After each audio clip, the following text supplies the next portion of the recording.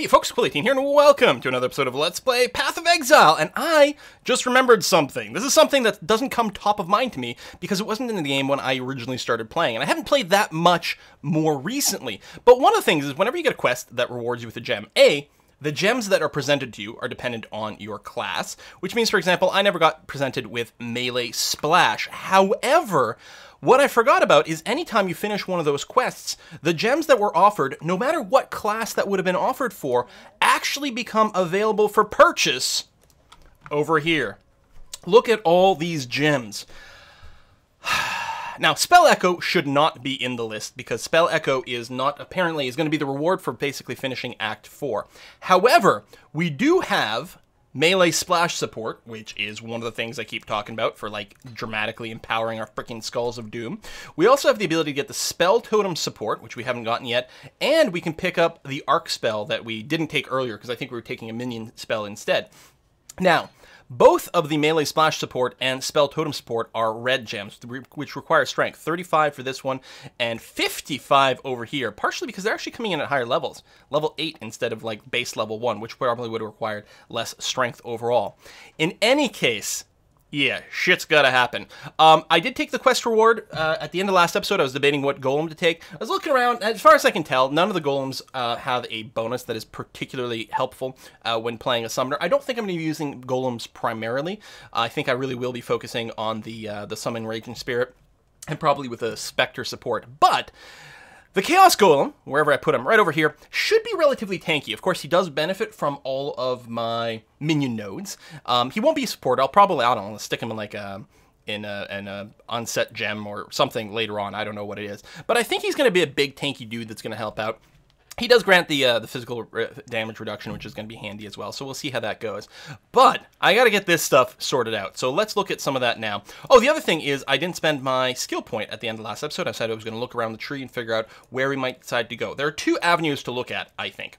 Uh, the first one would be going down here and picking up, there's another minion node over here. I don't think the minion re life regeneration is particularly critical, although it might help out with the golem.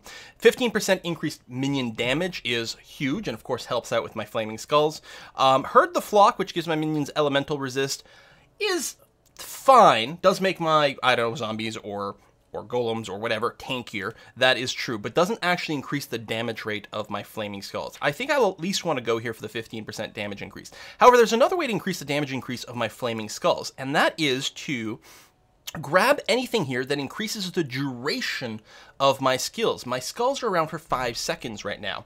I can increase their, their time quite a bit. This all in all would add up to 45% extra time. So they'd be here for like seven and a half seconds. And there's another one of those somewhere in here. I don't remember where it is, uh, but it's not that far away or that difficult to get. Um, hang on, I have I have the uh, the skill calculator open so I could do a search. Oh yes, it's down along the bottom node here. Um, right, these are totem durations, but over here is more skill duration. So there you go. So here's another 45%. So those would all add up to 90%, which means my skulls would be around for twice as long, during which time they continuously attack. So that's quite good. I think I think I don't know why I have a chat all of a sudden. Oh, it must be people talking in the uh, the local chat in the starting area. Um, I think what I'm going to do is go down in this direction first, just for that 15% increased damage, because I think that's going to pay bigger immediate dividends than the duration. Although, I don't know. And it does require a few nodes to get there. Whereas here we could start getting the duration right away. This is not exactly the same as 10% more damage from the skulls, but it sort of is over time. Actually, you know what? Just looking at the skulls, this is the best way to increase their damage. Um, I guess the other thing, hold on, if I cancel that, the other idea is, is there an easy node I can pick up a strength? I guess that would have been strength over here if I decided to go through this path. Um, you know what I'm going to do? I'm going to pick up might right now, plus 30 strength. I can undo this later on, but right now, this is going to make it a hell of a lot easier for me to run my red gems. Yes, okay, that's what I'm going to do. So what's my actual strength right now? 57, which means I can use both of these. Awesome. Only problem right now is I don't really have the sockets for it. I mean, well, that's not entirely true. All I want from my arc is arc plus spell totem. So now I can put down a arc totem on the ground, and that's going to be sufficient. And in fact, I really don't need to fireball anymore. We're going to see about that. I still want to be able to use this. That's my Lightning Warp. I want to keep that around. That's going to be okay. Raise Zombies, Flesh Offering. I mean, they're not being comboed with anything. If I want to add melee splash support, where do I want to add that?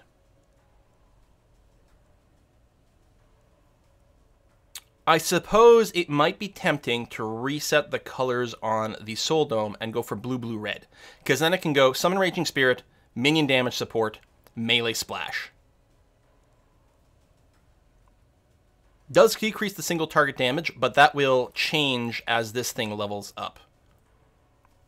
Oh, well, no, that's not true. It looks like it does full damage to this, the main target. It just does less to the splash targets, which is fine. So yeah, I think that's what we're going to go for. So let me go to my stash over here. We're going to try to recolor this. Uh, I think I've got to take all the gems out to do that. And you don't, it doesn't do anything special to have there, but it's easy to see. Just going to hold shift. I want two blues and a red. There it is not very many gems like or, or, sockets over here, so statistically it wasn't going to take too long to do that. So now if I put Summon Raging Spirit and Minion Damage Support and Melee Splash Damage over here. Good.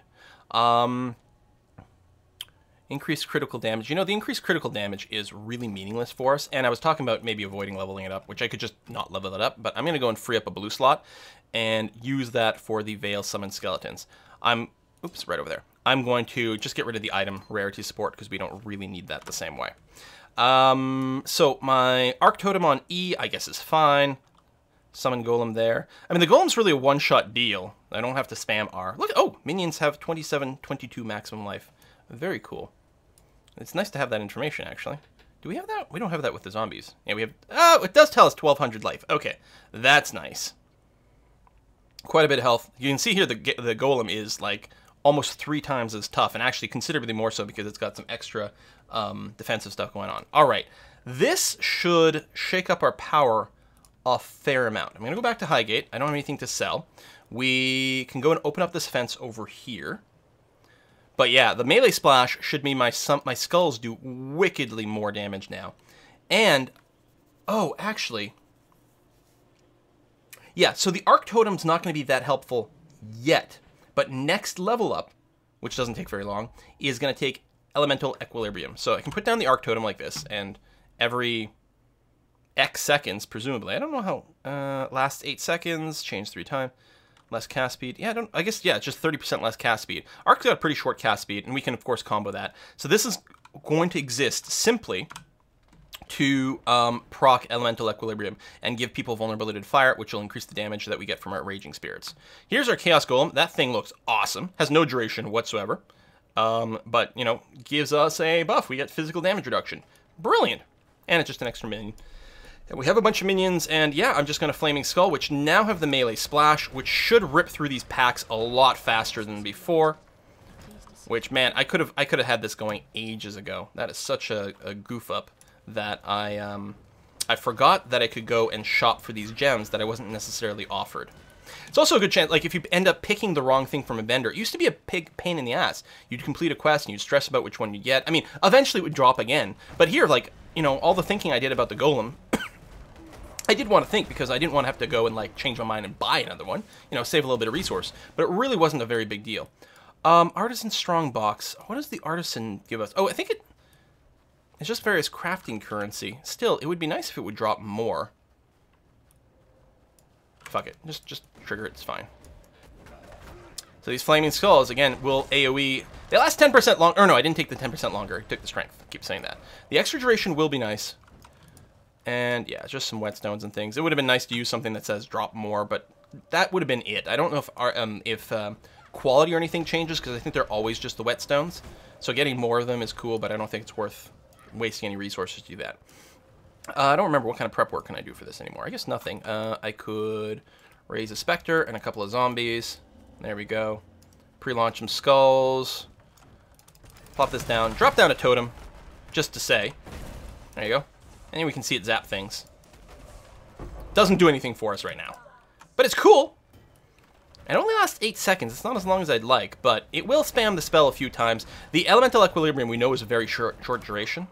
And I think it's better than me casting it. I think one totem followed by me just working on skulls is going to be sufficient. Orb of Alchemy. Nice win. And yes, we are doing so much. Our clear speed, oops, I'm using the wrong hotkeys here. Our clear speed is dramatically improved. I need another Golem and a Spectre. Thank you. We have almost 1,000 pure life. Who the hell's jumping on me? Oh, just a miner. Okay. I thought he was going to be like a rogue exile or something like that, closing in on me that quickly. That would be very scary. Hmm, hmm, hmm, I should check, actually, again, to see if haste was a reward. I guess I can just check it on the wiki. I want the haste aura for my minions, because I want them to run around a lot faster and just generally do a lot more damage. Um, very soon, we're definitely going to like focus on probably just the Spectre. We'll have we'll have the token golem. Just you know, we don't care about links or anything like that. But a token golem is going to be nice. Specters. I'll probably stop worrying about the ghouls. Just because it's starting to be a lot of babysitting. But I think mostly going to come down to uh, at some point we're going to need the slots for auras, and that's why we can't run all the things all the time. But yeah, I'm going to go and do some more shopping there again. Uh, hold on, let me check the wiki here. Uh, for haste, boom, um, quest reward, we would get it. Oh, it should actually be in the list, actually. Uh, oh, no, no. Quest reward. It's not given as a quest reward. It can be bought after completing the following quest, Lost in Love, which we have done. Presumably, doesn't specify difficulty, so presumably we've done that. So I can actually get my haste aura now. Fuck. Okay, I'm going to keep going for now, but in between episodes, I'll go and, and shop for some of these things and pay a little bit more attention. I believe this one needs... um I think it's green aura, so it may need a certain dexterity. Well, we're at 62. That's got to be enough. Hello, mine's level 2. Love the explosion of the skulls now. Superior detonate dead. Plus 17 quality. That's a lot of quality. Now, this is only level 1, so the numbers aren't going to be impressive. But yeah, it deals X number of fire damage, plus fire damage is as a percentage of the corpse's maximum life. And it gets increased cast speed because of the quality. Maybe even more damage, I don't know. Um, wow. I mean, it's something to consider. I mean, it sort of doesn't work, like, if I'm detonating corpses, then that doesn't really combo very well with raising them. Is this a path? Ah, it is a path. It looked like a dead end for a second. Um, but, I mean, that's okay. I could always switch over to a Golem SRS build. I don't think there's any of the passives that I've grabbed that are pure, like, helping zombies or specters kind of thing. Um, there might be a couple here and there, but most of the ones were taken because, yeah, they happen to, you know, give me extra zombie castings or this or that, but really I was grabbing them because they increase minion damage, which is what I'm looking for for my Summon Raging Spirit. We could do a pretty radical transformation of our build and just blow up corpses. Well, no, because I think well, no, you wouldn't spam detonate, because there's never going to be that many golems. So the casting speed boost is really not particularly meaningful. And it'll mostly come down to how many slots we've got. It's like, primarily we want one primary attack spell, one, I guess, sort of secondary attack spell, and then everything else is just sort of support and utility, which may or may not get paired with various things. hmm Pop you. Yeah, it definitely feels like we're ripping through things a lot faster than before. Oh, this is great. This is great. I'm such a fool for not having done it sooner. And yeah, I should probably run the Haste Aura. Which I think will benefit the SRS. Because again, I was I used to refer to them as um, you know, targeted like missiles, but that's not it. They do get summoned, they stick around for X number of seconds, and they attack multiple times. So if they haste, they'll attack more. If I increase their duration, then they'll get more attacks. Because right now, still, with my current attack speed, I can keep about 10 around, right? But if they have a longer duration, we can get our way up to, well, maybe 15, 16, depending on how many of those nodes I get. Actually, we're almost going to double their duration, so I can keep up to 20 without increasing my cast time. Uh, I am looping back. Let's try to avoid that. Maybe go this way. A little bat. Uh, I do need to summon some more minions. What the hell's going on up there? It's probably a rare that hasn't quite triggered yet, which is nice. Alright, Spectre. Zombie, zombie, zombie, zombie. Hammerstorm! Stop. Hammerstorm. No, no, no, no. Um... No. I want more sockets. I mean, you could have, like, some crazy, crazy trait that then I could socket up, but Deshret's Spirit. Oh yeah, remember, this is something that I, I've missed on multiple runs before. It's like a little side quest that I just, for whatever reason, didn't find the spirit before. I don't know if it was added in one of the more recent patches. Well, by, recent patches, I mean, you know, anything in the last two years. Um, or if it's been around for like a long time and I've literally never seen it before. Um, the last time I played, basically, the last character I leveled up, my lightning switch. Yeah. I don't know. Do do do, blow up everyone. Oh god, the splash damage is so good. Could add melee splash to the uh, to any of my zombies, right? Like, or any of my minions is what I meant to say. Uh, oh, do I not have? No, I still have my Vaal thing. I just don't have it mapped, do don't I? Oh fucking hell! Getting destroyed here. No, no, no, no, no. Uh, raise you up. Yeah, there's my Vaal skeletons. What do I replace on my hotkeys? Well, you know what? I don't need... I don't need the lightning totem right now. So let's keep the um, skeletons on there, because that makes more sense. Uh, let's get some zombies up. We've got specters. We've got our golem.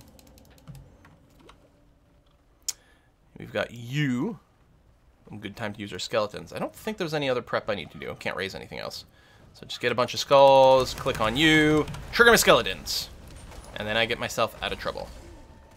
Especially since I'm being cursed like crazy here. Jesus. They keep, like, cycling the curses. Some of them are silences. Alright, we got them. Weeping Essence of Woe. Like, totally woe, man. Still have this fireball. That's another thing that, like, do I really need that? Hmm. Um, zombie, zombie.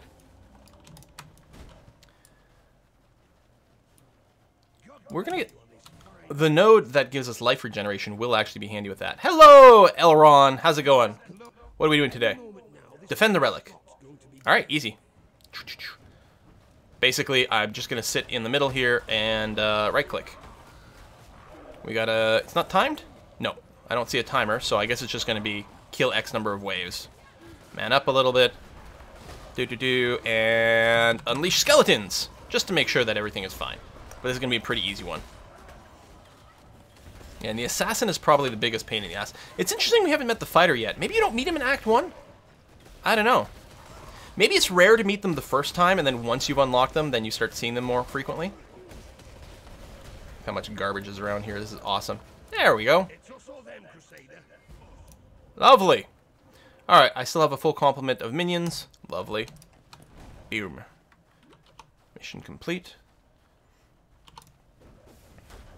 Oh my god, the AoE. Look at that shit.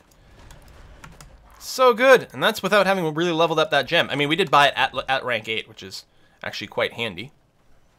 Alright, Crystal Veins. So, this gonna have... Um, right, no, this is another dungeon I have to go through. I'm thinking ahead of myself. Of the end of this, where there's gonna be a waypoint and some branching stuff. Keep clearing this. Uh, hello, full foul slash. Let's go and bump a couple of specters. I'll respec a couple of zombies. I'm gonna do that and blink away. Guarded by Rogue Exile. The rares, because they have such a higher chance of modifiers. I mean, I could ID them first so that I know what I'm getting into, but there's also a high chance that they'll have something that like insta spawns an event. All right, I think that's that. I'll just purge around the corner here. Spectre, I'm gonna do another one because I was low on hit points. Get our zombie count up before we go further. Uh, pick up, we're not going to use the field laminar. I don't think the knife, I mean, it could have like a bonus to, um, to sockets, but probably not. I don't know, I'll check, I suppose. I don't think I care about anything. That's interesting. We could re-roll the links on that. I don't think I'm going to do that. I'm, if I get a, a 5 link, that's going to be huge. But I don't think I'm going to craft one at this time. Let's go and just... Oops. Plus one level of socketed melee gems. You know, that's kind of interesting, actually. Adds lightning damage and critical strike for spells. So, like, if there's some mismatch here. Um, the spell bonuses aren't bad. The melee one is interesting because this would give me plus one level to my melee splash gem. It wouldn't be boost the others, but it does give me an option of moving, say, my SRS to a knife here and then moving some minions back here or something like that. I'll keep it sort of banked in case I decide I want to do a big change of how my stuff is organized. Because I might be interested in doing that. So my minion gem's going with the plus one, but at least the splash will, so not all is lost. It probably the most important thing to give the plus one level to is actually the SRS itself, as opposed to the support gems. Um, as such, and again, as a, on a weapon, I don't know if you can get plus minion level mods, but you can get plus two fire gem mods, which SRS counts as, or as fire gems. You can get a plus one to fire gems as a mod.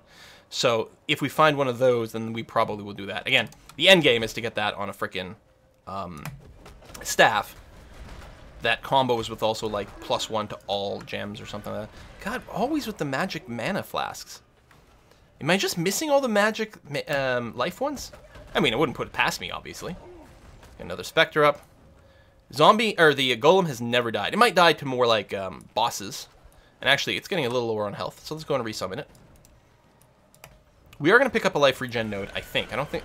We may already have one, but I think we're picking up another one soon. I'm not sure. Where are we here? Does... Yeah, there you go. Life regen, which, I mean, it doesn't actually matter that much. It takes two seconds to resummon the, uh, the Chaos Zombie, or Golem, but it's nice when you don't have to micromanage something else. It's funny, while, you know, the the the golems and things, you know, mostly auto target and do this. There's a surprising amount of micromanagement in this to like keep everything up. Whereas a lot more of your direct attack spells, I mean, you just, you know, right click and move, right click and move. You're not checking counters as much in between encounters. That being said, with the Skull's auto targeting, that gets rid of a lot of micromanagement in combat itself. Pew. Oh, I lost a Spectre. Doom, and I'll resummon one as well because he's pretty low on health. Go, go, Flaming Skulls of Doom! Hey, a Ruby Flask! We haven't run into these yet. So this is one of the many flasks. There's, well, one for each type of resistance. So it gives you plus 50% fire resist. It is still affects your cap, though, because normally you have a cap of 75. But at the same time, it gives you an extra 6% max fire resist during that time. So effectively, you'll have a cap of 81%. Note, that's only while the flask is running. So only for four seconds will you have that extra resistance. But it's a good, like, emergency button in certain fights. We may end up using that sort of thing. It'll depend on our resistances, especially as we get into the next act. Uh, so, skill point. Um, so, duration or the minion stuff over here?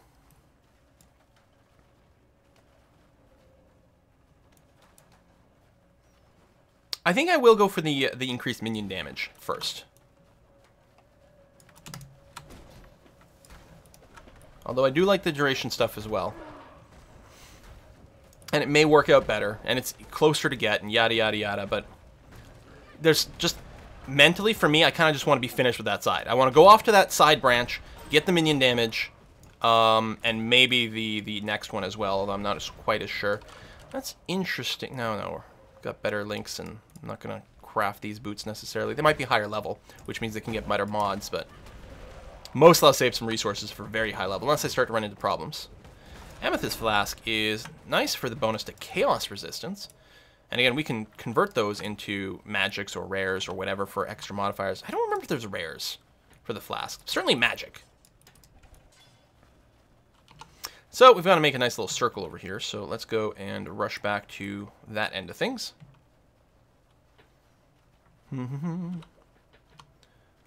but yeah, the clear rates are feeling pretty good. That's 12%. Uh, but it's magic. You know what? Fuck it, it's fine. You don't need to fill up our inventory that much. Oh, dead end. Um, oh, over there then. Shoot. Okay, it's not too bad to get there. There's the magic mana flask. Finding a lot more flasks now.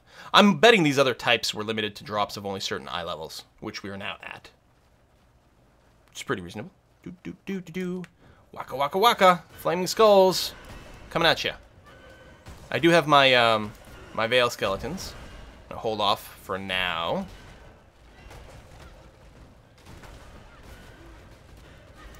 And then resummon some zombies. Spectre. Zombie, zombie, zombie. Potion. Go. Die, die, die, die. Oh, someone keeps summoning skeletons. I see.